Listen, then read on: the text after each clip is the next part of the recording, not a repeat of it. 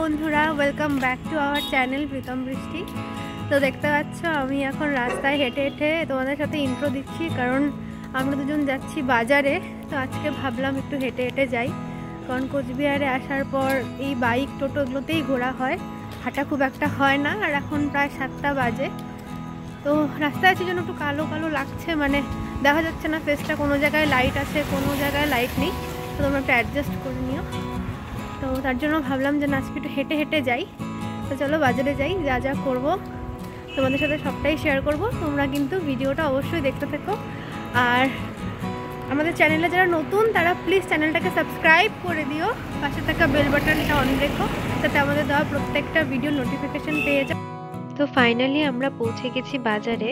আর দেখো, বাজারে কিন্তু খুব একটা ভিড় নেই। বাজার কিন্তু প্রায় ফাঁকা। তো এখন প্রায় সাড়ে সাতটা বাজে, তো লকডাউন শুরু হওয়ার আগে না বাজারে সাতটা সাড়ে সাতটার দিকে প্রচুর ভিড় থাকতো। তো লকডাউন শুরু হওয়ার পর থেকে সাতটা সাড়ে সাতটা মানে সাড়ে সাতটা, আটটার মতো অনেক দোকানই বন্ধ হয়ে যায়, বাজারটাও ফাঁকা ফাঁকা হয়ে যায়।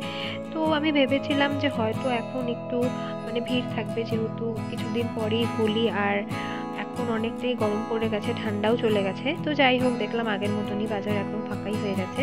তো এখন আমরা দুজন যাচ্ছি, বাজারের ভেতরে একটা মন্দির আছে। তোমরা যারা কোচবিহারে থাকো অবশ্যই বুঝতে পেরেছ।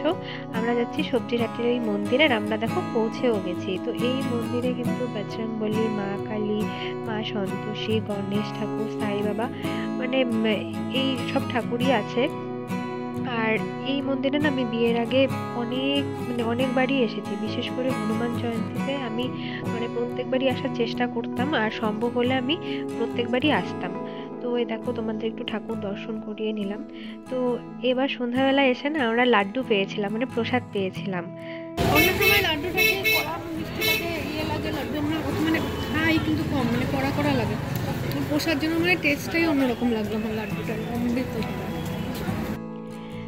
আমরা না, তখন তোমরা দেখলে যে আমি শুধু প্রসাদ নিলাম। কারণ কি বলো, তখন অনেক না লোক ছিল। মানে তোমরা হয়তো ভিডিওতে দেখতে পাওনি, কিন্তু অনেক লোক ছিল। তাই আমরা ভাবলাম যে একটা লাড্ডুই নিই, আমাদের একটা লাড্ডু দিয়ে দুজনের হয়ে যাবে।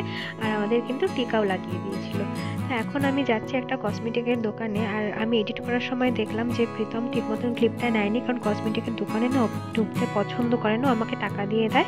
মানে তোমার যা লাগে তুমি কিনে আনো, আমি ঢুকবো না। মানে ও একটু হেজিটেশন ফিল করে আর আমিও জোর করি না। তো এই দেখো আমি হেঁটে হেঁটে যাচ্ছি আর দেখবি একটু পরেই কিন্তু ভিডিওটা মানে ক্লিপটা আর পুরোটা থাকবে না, একটু পরেও ভিডিওটা দেখবে যে বন্ধ করে দেবে। তো যাই হোক, আমি কসমেটিকের দোকানে গিয়ে এই সানসিল্কের এই কন্ডিশনারটা নিয়েছিলাম কারণ আমি এখন বর্তমানে সানসিল্কের এই ব্ল্যাক শ্যাম্পুটা আর কন্ডিশনারটা ইউজ করছি আর কসমেটিকের দোকান থেকে বেরিয়েই দেখি সামনে একটা দোকানে হোলির সব কিছু মানে সাজিয়ে রেখেছে। তো বাজার থেকে বেরোনোর সময় আমরা খেয়েছি মোমো। আমরা বাজার থেকে বেরিয়ে পড়েছি, এখন যাচ্ছি সাগর দিঘি হেঁটে হেঁটেই যাচ্ছি, কারণ আজকে আমাদের প্ল্যান যেখানেই যাব, যেখানেই ঘুরবো, হেঁটে হেঁটেই যাব, আর পেছনে দেখো প্রথম হেঁটে হেঁটে আসছে। তো এখন সাগর দিঘিতে যাই। সাগর দিঘিতে গিয়ে তোমাদের একটা জিনিস শেয়ার করব যদি সাগর দিঘিতে শেয়ার করতে না পারি, তাহলে বাড়ি গিয়ে একটা জিনিস তোমাদের দেখাবো। ঠিক আছে? তখন সাগর দিঘি যাই, তারপর কথা হচ্ছে তোমাদের সাথে। সাগর দিঘিতে এসেই আমরা ধোসা খেয়েছিলাম, কিন্তু আমরা ভিডিও করতে ভুলে গেছি। তার কারণ ধোসার দোকানটা না প্রায় বন্ধই করে দিচ্ছিল।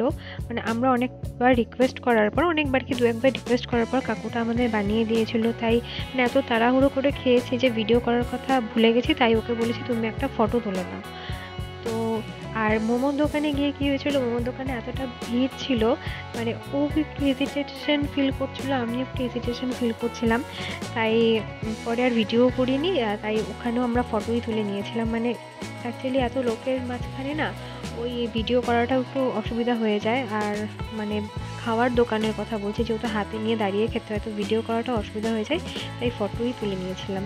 তো এখন আমরা খাওয়া দাওয়া করে এই তোমাদের সাগর দিঘি পরিবেশটা দেখিয়ে দিচ্ছি। দেখো মানে এখন কটা বাজে? সাড়ে আটটা, নটা এরকম সময়। দেখো সাগর দিঘিও পুরো অন্ধকার, ফাঁকা ফাঁকা। আর আগে কিন্তু এরকম সময় গরমের দিনে সাগর দিঘিতে মানে গরম বলতে কি, হোলির আগে থেকেই তো গরম পড়ে যায়। সাগর দিঘিতে কিন্তু প্রচুর ভিড় থাকতো আরও অনেক দোকান থাকতো। আর এখন দেখো বেশিরভাগ দোকানই কিন্তু মানে বন্ধ হয়ে গেছে। শুধু একটা ভুট্টার দোকান, এখানে পাওভাজির দোকান। আর দু একটা হয়তো ফুচকার দোকান, না, ফুচকার দোকান ছিল না। সাগর দিকে ফুচকার দোকানও ছিল না। আর দেখো সাগর দিকে রাতের ভিউটা কিন্তু জাস্ট দারুণ লাগে। আমার বউ এখন ঘুরতে ঘুরতে প্রচণ্ড টায়ার্ড এখন জল খাচ্ছে। আর আর কোথায় যাব এখন? বাড়ি যাব। টায়ার্ড না মানে এত গলায় এত মানে জলের টেস্টটাতে আমার গলা মানে শুকিয়ে কাঠ হয়ে যাচ্ছিল। তাহলে জল খাই। খাওয়া কিছু? যদি বাড়ি যাওয়ার পথে ফুচকার দোকান পাই ফুচকা খাব কারণ আজকে এত খাবার খেয়েছি আমরা। কিন্তু খাওয়ার সময় কি হয়েছে? আমরা ভিডিও করতে ভুলে গেছি। মানে খাওয়ার পেয়ে এত খাওয়ায় আমরা মত্ত। তখন যাই হোক, জল খেয়ে একটু ফুচকা খাওয়ার ইচ্ছা আছে, আর যেটা বলেছিলাম শেয়ার করব। এটা নিয়েছি।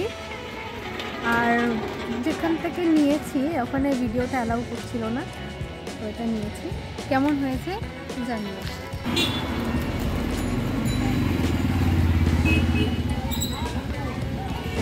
তুমি খাব তো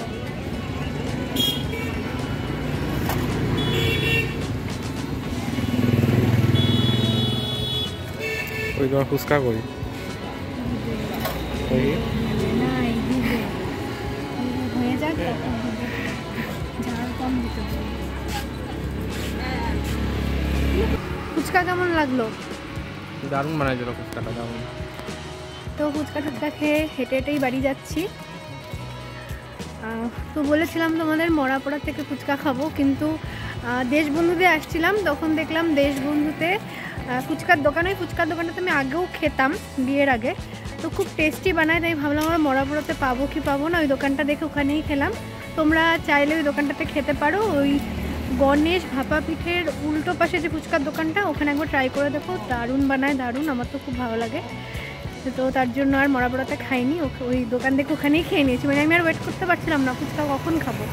তো যাই হোক, এখন বাড়ি যাচ্ছি। তো ভিডিওটা কেমন লাগল অবশ্যই কমেন্ট করে জানাবে। দেখা হবে আবার নেক্সট ভিডিওতে তো টাটা। টাটা বলে দাও। টাটা।